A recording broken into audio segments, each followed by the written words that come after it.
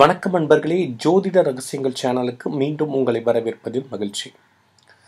அன்பர்களே இன்னைக்கு பதிவில் வந்து ரொம்ப ரொம்ப முக்கியமான ஒரு ஒரு விஷயத்தை பற்றி தெரிஞ்சுக்க போகிறோம் அதாவது நான் முன்னாடி பதிவில் நிறைய பதிவுகளில் போட்டிருக்கும் போது சுக்கர உரையெல்லாம் சொல்லியிருப்பேன் சூரிய உரை பற்றிலாம் நிறைய சொல்லியிருப்பேன் சில பரிகாரங்களை குறிப்பப்போ இதை சுக்கர உரையில் செய்யுங்க சூரிய உரையில் செய்யுங்க அப்படின்லாம் நான் நிறைய விஷயங்கள் சொல்லியிருப்பேன். இப்போது அந்த ஓரைகள்னா என்ன? அந்த ஓரைகள் பற்றியான ஒரு டீட்டெயில்டான ஒரு விளக்கம் தான் இந்த பதிவு. அன்பர்களே இந்த பதிவு வந்து கொஞ்சம் பெரிய பதிவாக இருந்தாலுமே இதை நீங்கள் முழுசாக கடைசி வரைக்கும் பாருங்கள் உங்களுக்கு ஒரு அதுக்கப்புறம் நீங்கள் எடுக்கக்கூடிய காரியங்கள் அனைத்துமே வெற்றி தான் அதுக்காக தான் இந்த பதிவு. ரொம்பவும் கொஞ்சம் பொறுமையாகவும் அந்த நான் கொடுக்க வரைய அட்டவணையெல்லாம் நான் கொடுத்துருப்பேன். யூடியூப் வீடியோ அடுத்து வர வீடியோ செக்ஷனில். இப்போ நீங்கள் பார்த்துட்டு இருக்கும்போதே நிறைய அந்த ஸ்லைட்ஸ்லாம் தெரியும். அதில் வந்து பார்த்தீங்கன்னா உங்களுக்கு ஓரைகள் பற்றியான டீட்டெயில்டான எல்லா ஓரை எந்தெந்த ஓரை பற்றியான கொடுத்துருப்பேன். ஓரை பற்றி தெரியாதவங்களுக்கும் இது ஒரு நல்ல தெரிஞ்சவங்களுக்கும் தெரியாதவங்களுக்கு இந்த பதிவு ரொம்பவே ஹெல்ப்ஃபுல்லாக இருக்கும். ஓரை பற்றி தெரிஞ்சவங்களுக்கு இதில் வந்து இன்னும் சில சூட்சமமான விஷயங்கள்லாம் நான் இந்த பதிவில் சொல்லிட்டு சொல்ல போகிறேன் அதனால் கொஞ்சம் பொறுமையான பதிவு பெரிய பதிவுன்றதுனால கொஞ்சம் பொறுமையாகவே நீங்கள் பாருங்கள் உங்களுக்கு கண்டிப்பாக ரொம்ப உபயோகமாக இருக்கும். அதாவது ஓரை அறிந்து நடப்பவனை யாரும் ஜெயிக்க முடியாது அப்படின்னு சித்தர்கள் வாக்கு. ஒன்பது கிரகங்களில் ஏழு கிரகங்களுக்கு மட்டும்தாங்க ஓரை இருக்குது ஓகேங்களா? ராகு கேது வந்து சாயா கிரகம் அப்படின்றதுனால சுற்றுப்பாதை இல்லாத காரணத்தினாலும் அந்த ரெண்டு கிரகத்துக்கு மட்டும் ஓரைகள் கிடையாது. சரியா? ஸோ இப்போ பூமத்திய ரேகை தீர்க்க ரேகை ஆகியவற்றை நமது முன்னோர்கள் எப்படி உருவாக்கினோர்களோ அதே போல தான் ஓரைகளும் உருவாக்கப்பட்டன. சூரியனினுடைய சுற்றுப்பாதை சூரியனுக்கு அருகில் இருக்கக்கூடிய கிரகங்கள் தொலைவில் இருக்கக்கூடிய கிரகங்கள் அதனுடைய ஈர்ப்பு சக்தி அதனுடன் ஒளிக்கற்றைகள் பூமியை அடைவதற்கு எடுத்துக்கொள்ளப்படுவதற்கான கால நேரம். இதையெல்லாம் அடிப்படையாக வச்சு தான் நமது முன்னோர்கள் ஓரைகளை கணக்கிட்டிருக்காங்க. சூரியன் மற்றும் அதன் அருகே உள்ள தொலைவில் உள்ள கிரகங்களின் அமைப்பை கொண்டு வானொலியில் அறிஞர்கள் ஓரைகளை உருவாக்கினார்கள். சரியா? இதன்படி வாரத்தின் முதல் நாளான ஞாயிற்றுக்கிழமை முதல் ஓரையை சூரியனுக்கு கொடுத்துருக்காங்க. அதற்கு அடுத்து சுக்கரன் அதுக்கு அடுத்து புதன் அப்புறம் புதன் ஓரை நான்காவது இடம் சந்திரன் அஞ்சாவது இடம் சனி ஆறாவது இடம் குரு ஏழாவது இடம் செல்வ செவ்வாய்க்கும் கொடுத்துருக்காங்க. இப்போது இந்த ஓரைகள் என்னன்றதை பார்த்தோம். இப்போ இந்த ஓரைகள்னால என்ன பலன்? அப்படி என்னென்னலாம் என்னென்னலாம் பண்ணலாம் இது இதெல்லாம் பண்ணக்கூடாதுன்றது உங்களுக்கு இதை பார்க்கும் போதே தெரியும். சொல்கிறேன் அதை இப்போ. ஞாயிற்றுக்கிழமையில் சுக்கர ஓரையில் நீங்கள் எது செஞ்சாலுமே தோல்வி தாங்க தரும். சரியா? ஞாயிற்றுக்கிழமை சுக்கர ஓரை கண்டிப்பாக தோல்வி தரும். திங்கட்கிழமை சுக்கரன் புதன் ஓரைகள் சரியாக செயல்படாது. அதனால் அந்த டைமில் எந்த வேலையுமே நீங்கள் செய்யாதீங்க. செவ்வாய்க்கிழமை புதன் ஓரை தோல்வி தரும். ஓகேங்களா? இதை வந்து ரொப் இதுக்கு வந்து நிறைய நிறைய கால்குலேஷன் இருக்கும். அதெல்லாம் எடுத்து சிம்பிளிஃபை பண்ணி உங்களுக்காக சிம்பிளான ஒரு ஒரு டேபிளாக கொடுத்து அதில் எந்தெந்த உரையில் எது எது பண்ணுங்க பண்ணக்கூடாதுன்றதையும் நாங்கள் சொல்லிடுறோம்.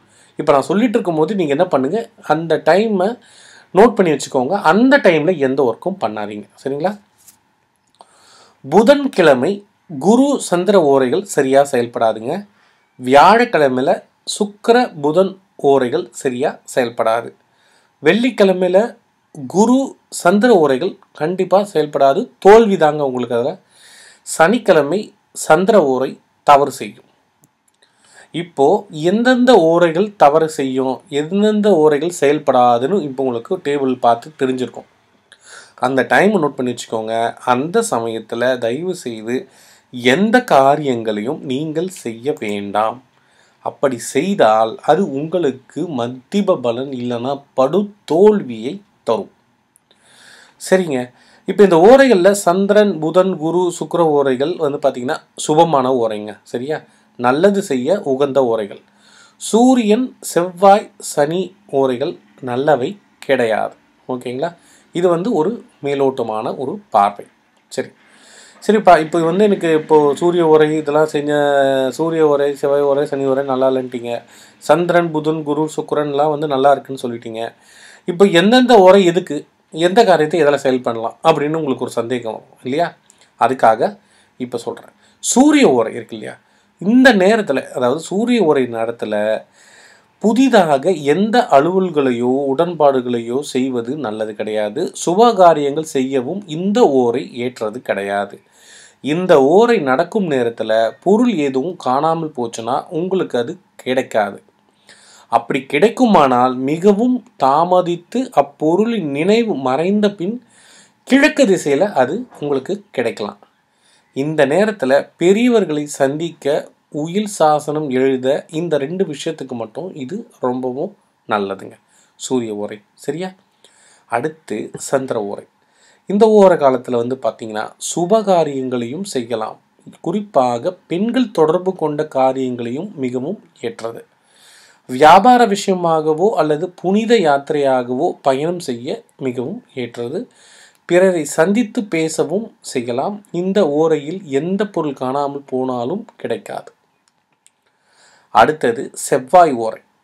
எந்தவித நல்ல காரியங்களும் செய்ய உகந்த நேரம் அல்ல. இருப்பினும் தெய்வீகம் தொடர்பான விஷயங்களையோ சண்டை சச்சரவுக்கான விஷயங்களையோ பற்றி பேசலாம்.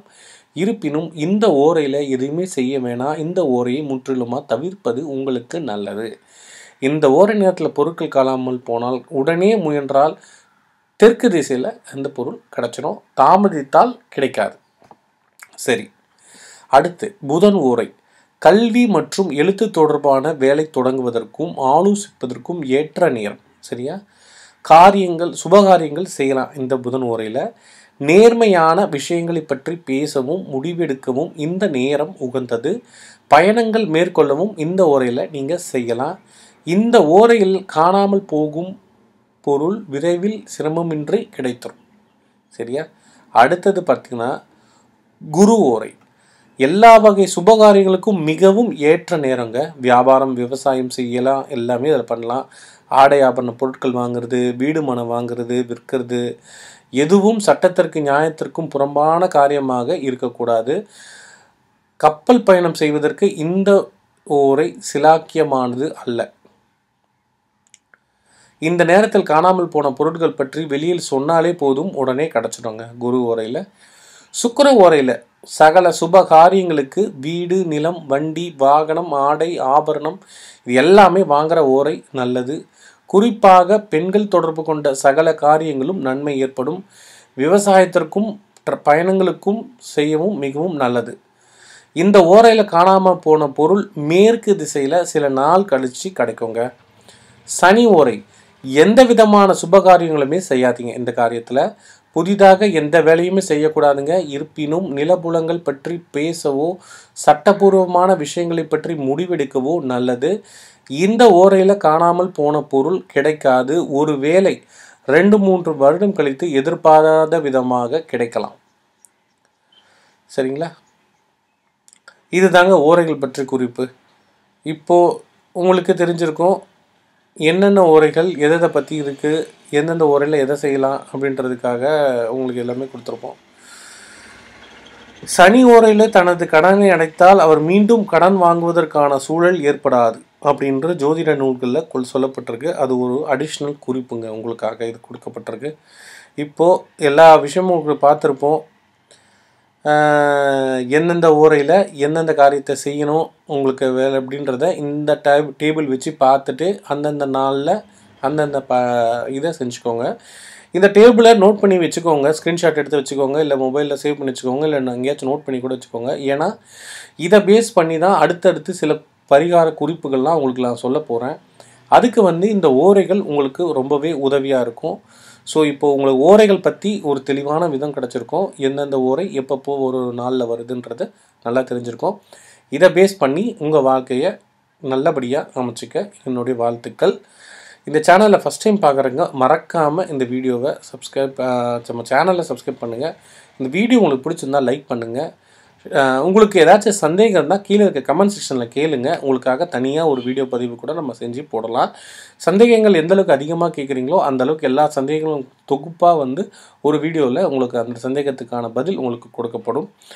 இந்த வீடியோ உங்களுக்கு பிடிச்சிருந்தா உங்கள் ஃப்ரெண்ட்ஸ் அண்ட் ரிலேட்டிவ்ஸ்க்கு கண்டிப்பாக ஷேர் பண்ணுங்கள் ஓரைகள் பற்றி அது ஒரு பெரிய கடல்.